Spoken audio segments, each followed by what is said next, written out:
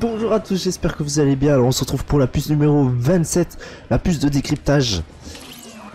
Alors on va devoir aller vers Snowby dans la case euh, A4.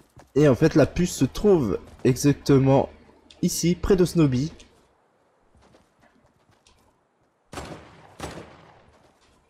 Ici même. Voilà pour la petite... Elle se trouve ici. Voilà les amis, n'hésitez pas à liker, à commenter et on se retrouve demain pour une nouvelle vidéo. Ciao ciao